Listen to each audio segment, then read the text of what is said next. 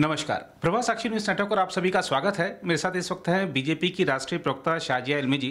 शाजिया जी, दिल्ली के मुख्यमंत्री अरविंद केजरीवाल की दलीलें काम नहीं आई और आखिरकार अदालत ने उन्हें तिहाड़ जेल भेज दिया। कैसे देखती हैं इस पूरे विषय को?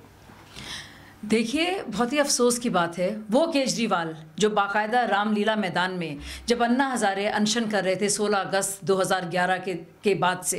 और तेरह दिन जो इंसान जिसकी जान पर आ गई जिसने अनशन किया भ्रष्टाचार के खिलाफ।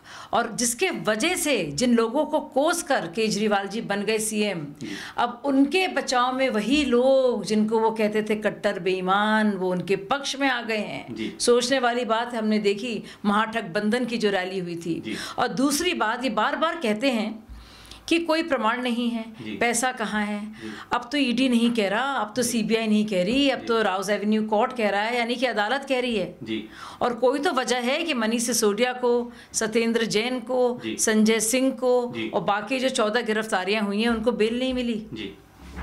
तो ये सोचने वाली बात है। जब जब सवाल पूछो ये सवाल बात करते हैं शरद रेड्डी की। अब शरद रेड्डी को तो पूरे मामले प्रकरण के बाद उसने इलेक्टोरल बॉन्ड खरीदी और उससे पहले भी खरीदी और इनको भी दी और बीआरएस को भी दी। और टीडीपी को भी दी। लेकिन ये तो सवाल बताएँ और उसका जवाब दें कि इतने ढेर सारे बयानों पर आधारित है ये केस। प्रमाण होंगे। और जो भी अप्रूवर बनता है सिर्फ़ उसकी बात को सिर्फ़ सुनकर नहीं कोई केस बनाया जा सकता है।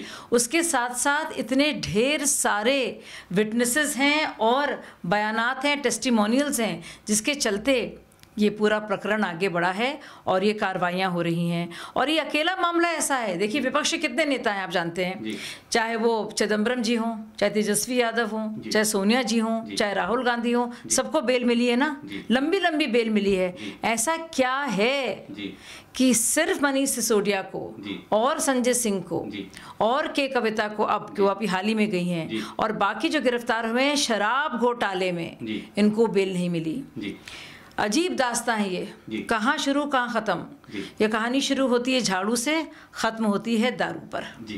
झाड़ू से जो कहानी शुरू हुई थी तो हम देखते थे कि जब झाड़ू की आधारशिला रखी जा रही थी उसमें जैसा आपने ज़िक्र भी किया कि वो नारे लगाते थे कि पहले लड़े थे गोरों से और अब लड़ेंगे चोरों से।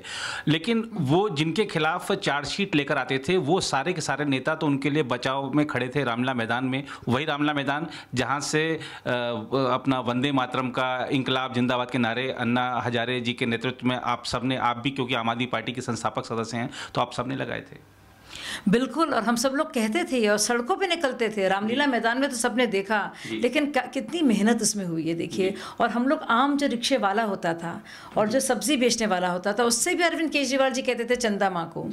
और हम लोग कहते थे निकलो बाहर मकानों से जंग लड़ो बेईमानों से। आज़ादी की ये दूसरी लड़ाई है। ये भी कहते थे केजरीवाल की जा जा के कहो कि पहले लड़े थे गोड़ों से अब लड़ रहे हैं चोरों से। तो वही वही चोर जिनको केजरीवाल जी चोर कह रहे थे वो सब तो उनके साथ बैठे जी। हैं। सारे मौसेरे भाई। जी। जी। और अगर हम देखें कल सुनीता केजरीवाल जी का जो संबोधन हुआ वहाँ पे उन्होंने कहा कि मुझे ऐसा लगता है कि आज़ादी की लड़ाई में तो अरविंद केजरीवाल शहीद हुए थे। ऐसी जो उनके बयान था इसको कैसे देखते हैं देखिए मुझे लगता है कि शहीद भगत सिंह का बार बार नाम भी लिया जा रहा है। और सबसे पहले तो मैं उनके परिवार वालों से माफ़ी मांगूँगी। जी। क्षमा प्रार्थी हूँ कि इस तरह से उनके बारे में कहा जा रहा है। जी। और अरविंद केजरीवाल जी जैसे लोग जी। जो बाकायदा संलिप्त हैं भ्रष्टाचार के मामलों में उनका मुकाबला और उनकी तुलना की जा रही है। तो मैं उन पूरे पर, उन सारे परिवारों से चाहे वो अशफाकुल्ला जी का हो ढींगरा जी का हो या फिर हमारे शहीद आज़म का हो हम मैं हाथ जोड़कर प्रार्थना करती हूँ और क्षमा मांगती हूँ कि उनके बारे में इतना निरादर आम आदमी पार्टी कर रही है और शराब के जो घोटालेबाज हैं उनकी तुलना कर रही है। और क्या शहादत दी है? वो तो भ्रष्टाचार के खिलाफ लड़ रहे थे। उसके चलते बन गए सीएम। तो इंडिया अगेंस्ट करप्शन हो गया है। I N D I for corruption ये देखिए पहले तो इंडिया अगेंस्ट करप्शन था जिसका मैं हिस्सा थी। और अब हो गया है आई एन डी आई जो पूरा गठबंधन है ठगों का। अब वो भ्रष्टाचार के लिए भ्रष्टाचार के द्वारा भ्रष्टाचार के साथ खड़े हुए भ्रष्टाचारी हैं जिनको बचाने के लिए ये महारैली आपने कल देखी। जी। और चलिए राजनीति एक अलग जगह है लेकिन एक जो होती है मित्रता। अगर हम राजनीतिक मित्रता की बात कर लें राजनीतिक जो सहयोगी जो आपके साथ संघर्ष करके कुछ एक इमारत को खड़ा करते हैं उस इमारत को खड़ा किया आप लोगों ने। आम आदमी पार्टी से सबसे पहले आप निकली। उसके बाद तमाम एक तरह से पूरी पंक्ति लग गई नेताओं की। और आज के जो अरविंद केजरीवाल के सहयोगी हैं, चाहे वो संजय सिंह हो, मनीष सिसोदिया हों, वो जेल में हैं, उनके लिए खड़े नहीं हुए अरविंद केजरीवाल। और अगर हम देख लें कि किस तरीके से अब आतिशी और सौरभ भारद्वाज और कैलाश गहलोत के इर्द गिर्द जिस तरीके से चीज़ें मंडरा रही हैं, खतरा मंडरा रहा है तो उसको कैसे देखते हैं? क्या अरविंद केजरीवाल के इर्द गिर्द रहने वाले लोगों के लिए यूज़ एंड थ्रो की पॉलिसी वो यूज़ करते हैं? बिल्कुल, जैसे कि पुराने साथियों के साथ विश्वासघात हुआ। जी। और शुरुआत तो की अन्ना हजारे के साथ ही। जो। अन्ना हजारे चाह नहीं रहे थे पार्टी बनी। ये हम लोग ने भी नहीं सोचा। और अरविंद केजरीवाल तो बाकायदा कसम खाते थे कि हम पार्टी में नहीं आएँगे ना बनाएँगे। अब सोचिए सबसे पहले जो खंजर भूखा उन्होंने अन्ना हजारे को फिर एक एक करके जलील किया परेशान किया जिसके चलते मैं सबसे पहले गई और बाद में आपने देखा किस तरह से मतलब जूते मार मार कर निकाला। ऑडियो भी आया था ऑडियो भी है और लोगों ने देखा है किस तरह से लहू लुहान होके योगिंदर जी के साथी इस्लाम साहब और ये सब निकले हैं। कितनी उनकी धुलाई हुई अंदर। उसके साथ साथ चाहे मयंक गांधी हो चाहे और हो वो सब हटे। एडमिरल रामदास जो उनके अंदर के लोकपाल थे उनको भी निकाला गया। और अब सोचिए अब नए साथियों के साथ भी ऐसा कुछ हो रहा है। मनीष सिसोदिया किसे तो बाकायदा उनके लिए उनके पक्ष में तो बोले नहीं। बड़ी बड़ी बातें ज़रूर की लेकिन इस्तीफ़ा ले लिया। इस्तीफ़ा ले लिया उन्होंने सत्येंद्र जैन का भी। और अब देखिए जिस तरह से वो कह रहे हैं कि विजय नायर तो रिपोर्ट करता था आतिशी को सौरभ को तो ये साफ़ ज़ाहिर है कि उन्हें डर लग रहा है कि आतिशी और सौरभ हाईजैक कर रहे हैं और वो रास्ता बना रहे हैं। राबड़ी देवी। उपन्यास के दूसरे अध्याय का। जी, और जैसा आपने कहा कि वो रास्ता बना रहे हैं तो अगर हम देखें जो उनके पुराने साथी थे, उनके लिए उन्होंने फार्मूला रखा कि ठीक है, मनीष सिसोदिया गए, उनसे इस्तीफ़ा ले लिया। सत्येंद्र जैन गए तो चलिए साल भर बाद लिया, लेकिन उनसे इस्तीफ़ा ले लिया। लेकिन वो खुद कह रहे हैं कि मैं तो जो सरकार जेल से चलाऊँगा, और अगर हम भारतीय राजनीतिक इतिहास को देखें तो अभी तक सिर्फ़ शायद जयललिता का ही है कि वो अड़तालीस घंटे जेल से उन्होंने शासन चलाया, लेकिन उन्होंने भी छोड़ दिया था।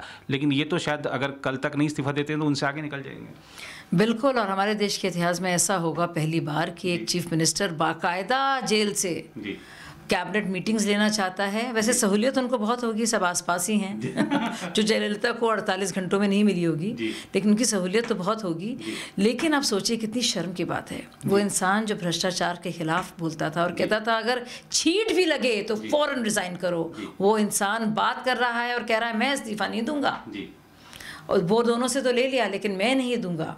और मैं जेल से अपनी सरकार चलाऊँगा। ये मतलब बेशर्मी बेहयाई की इंतहा और हदे पार कर दी हैं इस इंसान ने और आम आदमी पार्टी ने। जी। आपने जैसा ज़िक्र किया कि आतिशी और सौरभ भारद्वाज जी को लग रहा है कि अरविंद केजरीवाल को लग रहा है कि ये दोनों अपनी जगह बना रहे हैं। तो क्या इसीलिए सुनीता केजरीवाल जी की पॉलिटिकल लॉन्चिंग उसी रामलीला मैदान से की गई जहाँ से अरविंद केजरीवाल ने खुद अपनी की थी? बिल्कुल देखिए जिस तरह से एक मंझे हुए एक नेता की तरह सुनीता केजरीवाल बोल रही हैं और कह रहे हैं कि केजरीवाल जो है वो शेर है और वो जो हमारा शेर डरेगा नहीं और, और मैनिफेस्टो सुना रही हैं। वो बाकायदा अपनी पार्टी का मैनिफेस्टो दे रही हैं और एजेंडा तय कर रही हैं। ना सिर्फ़ आम आदमी पार्टी का पर पूरे अलायंस का जिससे वो काफ़ी असहज भी नज़र आए और प्रतीत हुए। लेकिन सोचिए कि पूरी तरह से वो आम आदमी पार्टी की सुप्रीमो के तौर पर उभरती हुई नज़र आ रही हैं और इसीलिए पत्ता काटा जा रहा है। आतिशी का भी और सौरभ का भी। जी बहुत धन्यवाद शाजिया जी। तो ये थी शाजिया अलमी जी जिन्होंने बड़ी प्रखरता के साथ आम आदमी पार्टी से जुड़े मुद्दों पर अपनी राय रखी है। फ़िलहाल इस रिपोर्ट में इतना ही। बाकी देश नई खबरों के लिए बने रहे प्रभा साक्षी के साथ। अगर आप भी लेना चाहते हैं देश दुनिया की तमाम जानकारी तो आज ही सब्सक्राइब करें हमारे चैनल को। साथ ही नीचे दिए बेल आइकन को ज़रूर दबाएँ ताकि हर अपडेट आप तक पहुँच सके।